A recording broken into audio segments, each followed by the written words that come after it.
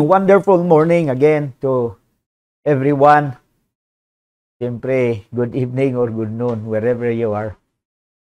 But we'll uh, start this uh, session with uh, thanksgiving uh, unto the Lord. Father, thank you for this day.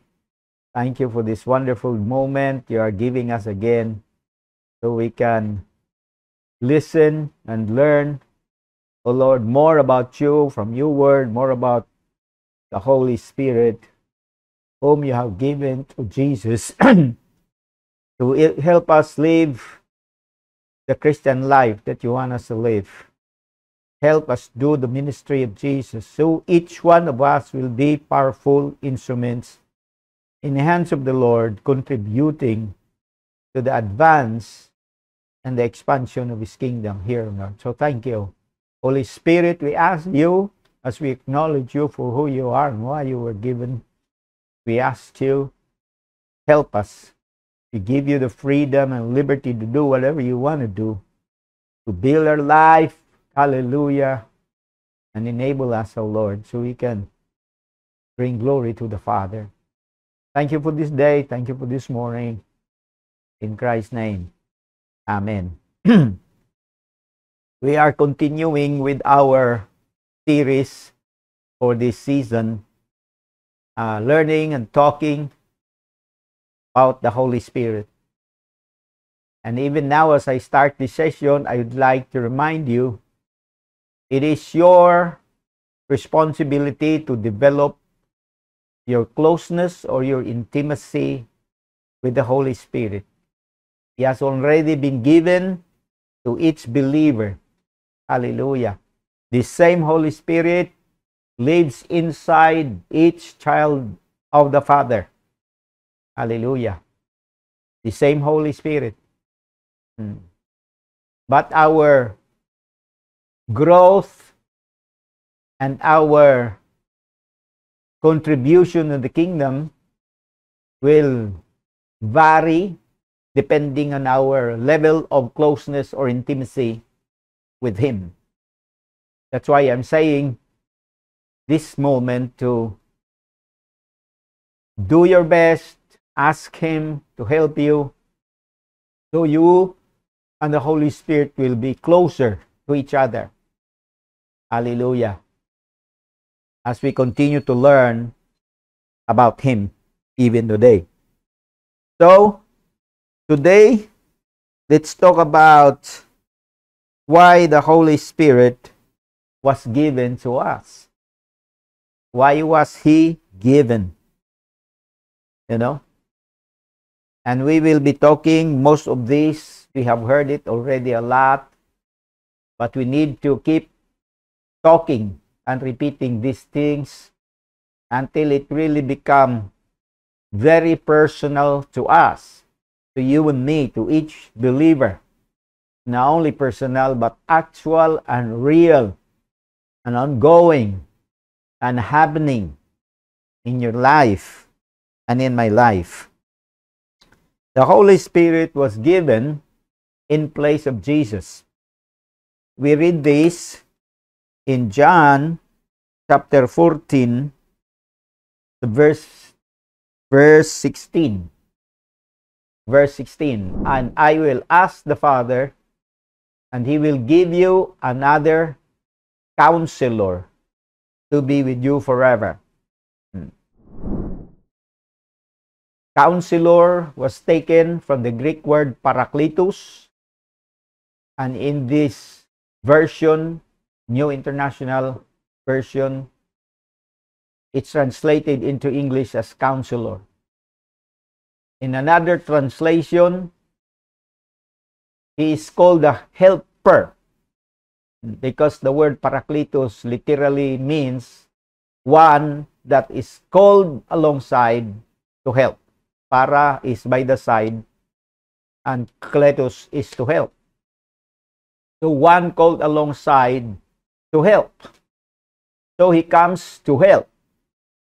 He comes to counsel. He comes to comfort. Comforter is another word no, that is used to translate parakletos into English. Then another word that is used is advocate. Advocate means uh, defender or promoter. Yeah? Serving as some kind of a lawyer to defend, to promote, to protect, etc. So that is why the Holy Spirit has been given to each one. Let me repeat, each child of God, each believer or every Christian has been given the Holy Spirit. For what reason? So the Holy Spirit can help us. Help us in what? Help us to be a real, genuine, authentic, and powerful Christian. Yan. Remember, we were talking about the essence of being a Christian. What is a Christian? A Christian is someone, of course, who has repented and accepted Jesus as Lord, and then starts living his life following the example of Jesus and doing the works of Jesus or doing the ministry of Jesus. That should be every day. You live your life following the example of Jesus every day. And you do the works of Jesus every day. And in that, you need the Holy Spirit. Holy Spirit will help you to live an authentic, genuine, real, and powerful, fruitful Christian life. He will help you do the works of Jesus. We will learn more about that today. Hallelujah. Remember, that's the essence of being a Christian. No? Christian means Christ-like life. So you pattern your life after Jesus. You live his life, but you also do the works of Jesus. Hmm. You cannot, we cannot live the Christian life fully and completely without the help of the Holy Spirit. More so, we cannot do the works of Jesus apart from the Holy Spirit. That's why in John 14, verse 12, we have this word of the Lord, Jesus Christ. I tell you the truth, anyone who has faith in me will do. Say the word do. Will do what I have been doing. He will do even greater things than this. Why? Because I'm going to the Father. The line that says, because I'm going to the Father, implies when I'm going to the Father, the Holy Spirit will come in my place. That's the implication. That's the reason why we can do the works of Jesus. That's the reason why we have the potential to do even greater things than what Jesus were doing. Not because of us, but because of the Spirit who will come and take over the place of Jesus and through us will do the works of Jesus. Hallelujah. Glorifying the Father. Giving glory and honor to the Father and to the Son. Because that's the main task of the Holy Spirit. So please realize that you have the Holy Spirit in you.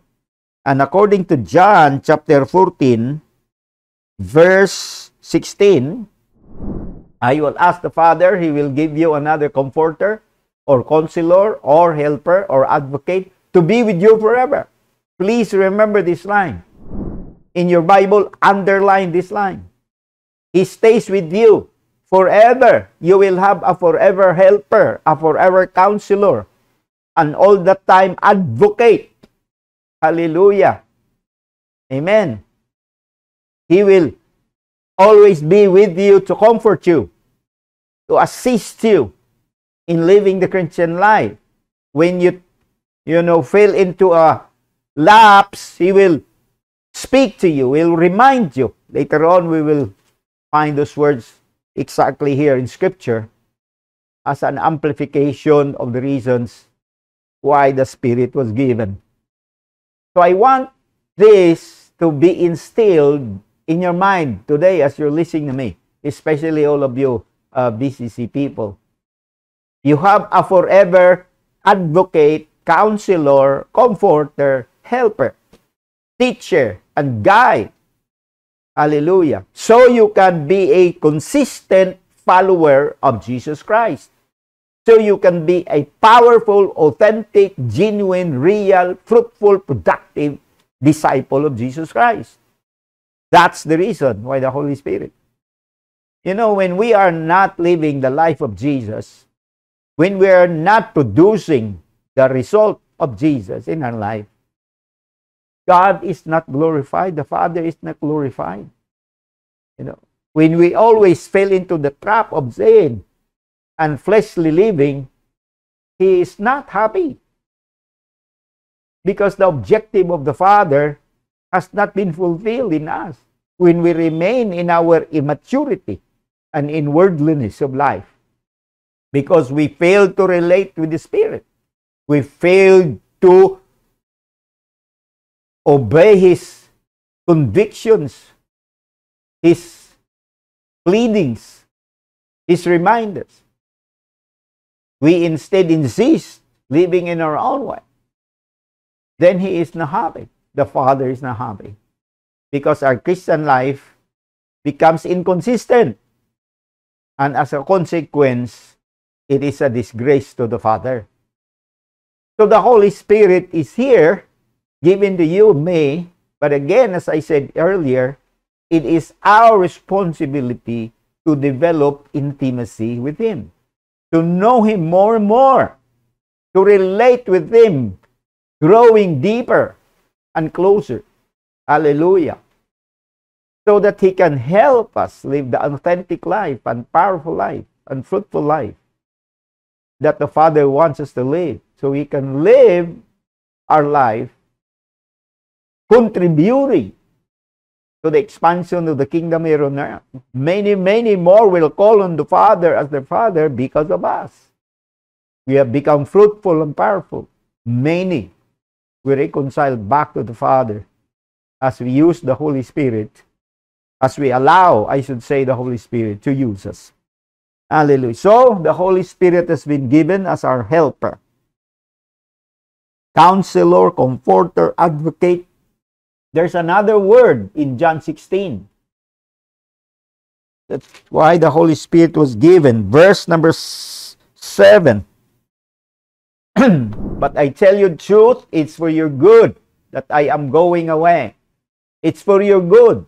For the good of the disciples that Jesus has to leave them physically because he says, Unless I go away, the counselor will not come to you. But if I go, I'll send him to you. Amen. Then in the next verse, verse 8, when the Holy Spirit comes, he will convict the world of guilt in regard to sin, unrighteousness, and judgment. So the Holy Spirit comes to help us by convicting the world. How is this related? Because as the helper, he comes to help the church. You and me is part of the church of Jesus Christ. And as the church of Jesus, we are commanded or commissioned to go and proclaim the gospel. Gospel with signs, wonders, and miracles. Hallelujah. But it is not our role to convict or convince the world. It is the role of the Holy Spirit. So He comes to help us that while we preach the good news or share the story of Jesus or tell our loved ones the testimonies of our lives, because He is at work in us and through us, while we are talking or speaking, the Holy Spirit is working in the lives of those who are listening to us. What is He doing? He will be convicting them. He is the one who will convict them. He is the one who will convince them because the word convict means convince. It is not our responsibility to convince anyone about Jesus, about the gospel. It is the role of the Holy Spirit. The Holy Spirit will convict them about sin, about righteousness, about judgment, and many more aspects of godly living. So all we have to do is share the story of Jesus. All we have to do is open our mouth. All we have to do is tell them, hallelujah, simply and easily and kindly and humbly. You know, without being arrogant or proud as if we are the only one that knows everything. Without the uh, holier than thou attitude. No. Because it is not our role to convince anyone or impress anyone. We leave that to the Holy Spirit. He comes to help us become fruitful, become impactful in our life. That is why, again, we need to relate properly with Him. Hallelujah.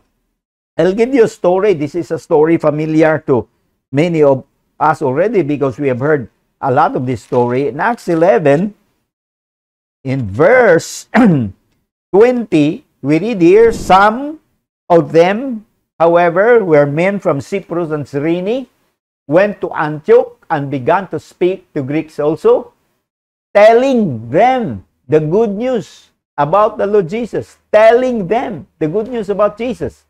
The next verse, the Lord's hand was with them, and a great number of people believed and turned to the Lord. How was it possible that these men from Cyprus and Cyrene, we call this them nameless and faceless disciples or followers of Jesus, was able to be used by God to birth out a church in Antioch that eventually became the headquarters of the Apostle Paul and his missionary band of disciples planting churches everywhere. How was it possible? Because the hand of the Lord was with them. And the hand of the Lord is another way of saying the Holy Spirit worked powerfully using their lives. All they did was tell the people. First the Jews, then the Greeks, tell them about what the Lord has done. And the Holy Spirit was there. The hand of the Lord, referring to the Holy Spirit of God, the anointing, that's the word, another word that sometimes we use, the anointing of God came with them and unto the people. And the result was the result of the hand of the Lord working to these simple believers, nameless and faceless. They were not the apostles, they were not deacons, they have no office or important role in the church. They were just ordinary people nameless and faceless. But because they had the faith to obey, as the Spirit of the Lord was leading them to take this action to go from their places to this city called Antioch, lo and behold, a wonderful, powerful thing has happened. So many people believe and turned to the Lord, and a church was born in the city of Antioch. That is exactly what the Holy Spirit would wish to do. Hallelujah. This is exactly what we're praying about and longing for. That's why we take this time to learn, study. Who is this Holy Spirit who was given to us and why was he given to each one of us? Brothers and sisters, each one of you has received the Holy Spirit. If you have received Jesus, the next thing you do is receive the Holy Spirit. If you are ignorant about Him, then find someone to teach you about the Holy Spirit. Make sure that you receive Him. Hallelujah. Because you will not live the Christian life that He wants you to live without His help. He comes to help us live the Christ like life. And the Christ like life is a life of purity and power. Hallelujah. Praise God. It is a life of fruitfulness in the kingdom of God. It is a life of joy. Kingdom of God is not meat and drink, but righteousness and peace and joy in the Holy Spirit. According to Romans 14, verse 17. So, I'm encouraging you, those who are listening and following our lesson, uh, grow in your relationship with the Holy Spirit. Hallelujah. Talk to Him all the time. Uh, talk to him all the time. We will be learning about how to talk to the Holy Spirit in the way that He wants us to really talk to Him in the most fruitful and productive way. Hallelujah. So do not stop following this broadcast. You know, I invite you and share this with your loved ones and friends. So for this morning, I am repeating that each one has been given the Holy Spirit. And why was he given? To help us.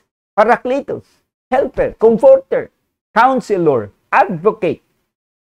He, wa- he is here to convict the world, use our life to tell the story Jesus, and He will convict them. We trust that He is working while we are doing our share, while we are telling, while we are obeying Him to tell someone about the love of God through Jesus Christ. We trust Him that He is working in their heart, He is working in their mind, He is convicting them, He is convincing them. All we have to do is trust as partners in the work of the Holy Spirit. Hallelujah. So, while you are living your simple life as a housewife, as a farmer, as a husband, as an employee, you know, as a teacher, or whatever is your your day-to-day activity, right there, the Holy Spirit is with you because Jesus has already said He is with you forever. He is in you forever. He goes with you. You are now a temple of the Holy Spirit. Just learn to relate with Him, to listen to Him, and obey. He will arrange for you to meet up with someone. He will be already speaking to that someone. We heard this, we read this all the time in Scripture. Remember the story of Peter and of Cornelius? You know, in Acts chapter 8, Cornelius was praying and God spoke to him to look for Peter, find Peter. While Peter was on the other side of the country in another city, the Holy Spirit spoke to him that he will be going to the house of Cornelius. And they were all arranged by God, me up, and Peter was able to minister to Cornelius because God already prepared the heart and life of Cornelius and his household. That's how it came to pass that the gospel penetrated the Gentile world, beginning with the family of Cornelius. We read about the life of Saul, or later on Paul, and the life of Ananias. How they were arranged by God and me. God spoke to Ananias, and God spoke to Saul. You go to this household in a street called street. There's a man there called Ananias. Meanwhile, Ananias was spoken of by God. Someone is coming into your household. His name is Saul. Minister to him. Hallelujah. We can believe that God will do the same. While we do our regular work, all we have to do is ready for whatever instruction the Holy Spirit will tell us and then have the faith and the courage to act simply, powerfully. Because God has designed every Christian life to be supernatural. Hallelujah. When we say supernatural, we say, we mean above the natural or above the normal. While we live the normal life, while we live the natural life, there are moments when God would call us to do something in order to us to live, to experience a supernatural, you know, intervention of the Lord in our life for the glory of His name. It's not for our own glory why he wants us to live a supernatural life is not for our sake. It's for the sake of the world who is in need and for the glory of the Father. Again, the challenge is how to develop closeness and intimacy with the, with the, with the Holy Spirit. That will be one lesson in the future where we'll be talking about. Hallelujah. But for today, we're learning that the Holy Spirit has been given to help us. He is our counselor, He is our comforter, He is our advocate, He is the convictor of the world. You notice these three things, helper or four things, counselor, helper, advocate, con, con, comforter. This will not apply in your Christian life while you are sitting down in the Sunday service. You know, you do not need a helper while sitting down you know, in the Sunday service. You sit down, you stand up, you clap your hands, pull out some few coins, give to the offering box, go home. You do not need the Holy Spirit to do all these things. You can do them by yourself. he is not there to comfort you while you are sitting down. You are already comfortable sitting down. Most churches are designed to be really comfortable for believers. That's why we do our best to raise money to build a nice building, make it sure it, you know, it is uh, aircon, you know, curtains are nice. Everything is nice. Comfortable in your physical setup. But here, the word comforter applies to you when you live your life after the example of Jesus and do the works of Jesus. Because trying to live the Christian life, there are setbacks. There are failures. There are moments when you are persecuted. People will, will say all kinds of things to you. That's why the Holy Spirit is there to comfort you. He will comfort you because you have been going through difficult moment. You're persecuted. Life is difficult. You have a setback. You have a problem. He will comfort you. He will counsel you. He will stand up to protect and advocate for you. This is not applied. This all this helping here cannot be experienced inside the church building. This is when you go out into the world, live the life of Jesus, and do the works of Jesus, that these things will have its powerful meaning in your life. Hallelujah. Do not tell me that you are there inside the church and you still need the Holy Spirit to advocate for you, to comfort you. You are already comfortable there. this is when you live your life day by day in the world, in the marketplace, in your household. If you have five, seven children, your hands are full, you know, to attend to them, plus there are neighbors that ask for your help. There you will need the help of the Holy Spirit. You will need the counsel of the Holy Spirit. You will need the comfort of the Holy Spirit. Hallelujah. Please understand this. Holy Spirit has been given. Hallelujah. Remember, at the same time, He is our teacher. In John chapter 14, verse 26, He will teach us all things. Hallelujah. He will teach you all things. A Father will send my name, will teach you all things. He will teach you all things. All things about what? All things about living the life of Jesus. All things about doing the works of Jesus. He will teach you all things. And then another will remind you of everything I said to you. He will remind us. He helps us by reminding us of the many things already we learned, but we forget. Because if there's one thing that men, all of us can easily do, uh, that's to forget. We easily forget. Difficult for us to learn. And yet the Holy Spirit has been given so He can remind us. He will help us by reminding us.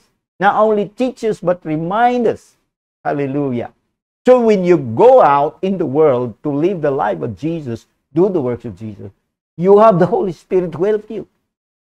You have the Holy Spirit to remind you. Hallelujah. And now you're realizing that. Okay? Now you are learning. Amen? So do not say, I do not know. Do not say, you know, talk to the Holy Spirit. Hallelujah. The Christian life has been designed already to function through the Holy Spirit, the help of the Spirit. Do not say, I, I cannot do this, I cannot do that. I'm telling you right now, you can do it. You know why? There's the Holy Spirit who will help you. You can live the, the life of Christ for the glory of the Father. You can do the works of Jesus. Even though you are new in the faith, even though you just received Jesus three weeks, one month ago, you can start living a life that will honor the Father and will please Him because of its result through the help of the Holy Spirit. Meanwhile, there are other Christians who have been Christian for years and years and years. And yet, because of failure to know the Holy Spirit, failure to obey Him, failure to develop intimacy with Him, they have become just church people, religious, but not fruitful, because they fail to relate with the Holy Spirit. That's why, by the grace of Jesus, the Holy Spirit is helping us to make some important changes in the way we serve the Lord, in the way we follow Him. We do our best now to follow Jesus. Jesus is called the way, He is called the truth, He is called the life. He has the way, He is the way. And we are called to follow Him, so we seek to follow Him. The Holy Spirit is reminding us and He's teaching us day by day in this way of following Jesus. Hallelujah. The simplicity of being a Christian is following Jesus. Hallelujah. Amen. I pray that God will help us all, help us all, those of you are listening, to receive today. And my encouragement to you is keep on receiving. Remember these verses, review them, and bring this before the Lord in prayer. Ask humbly the Holy Spirit, who Himself is excited and ready to teach you these things. Where you live, during your devotional time, during your prayer moment, talk to Him. Holy Spirit, teach me. Give me a clear understanding, personal revelation about these truths, and enable me to live these truths for the glory of the Father and to honor Jesus. Hallelujah.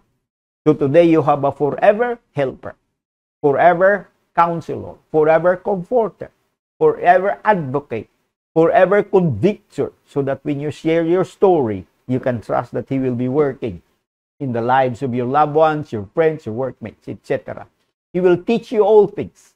He will remind you of the many already things that we have learned before. And there's many other aspects that we will learn later. Let's pray. Thank you, Father, for today. Thank you for your goodness. Thank you for your grace. Holy Spirit, thank you that you also were obedient when the Father sent you on a mission here to take the place of Jesus in the lives of the church people. Not only to visit, but to live. Not only live for a moment, for a few hours, for a few weeks, or a few years, but live with us and in us forever. You are our advocate, our helper, our counselor, our comforter. You're the one that will convict the world, O Lord. Hallelujah. All we have to do is trust you, rely on you. All we have to do is do our little share according to the scheme of the Father. We are the instruments that will tell the gospel story to people around us. And you are the one that will convict them. We trust you, O Lord, in this. Help us to be obedient, O Lord. Thank you for your patience, God. Oh, Holy Spirit, thank you. Thank you for the signs and wonders and miracles as we obey the Holy Spirit, who wants us to live a supernatural life, above the natural, above what the others are doing with their lives, O Lord. Only living their lives for themselves. No. Thank you for reminding us that our lives don't belong to us anymore. It belongs to Jesus. Hallelujah.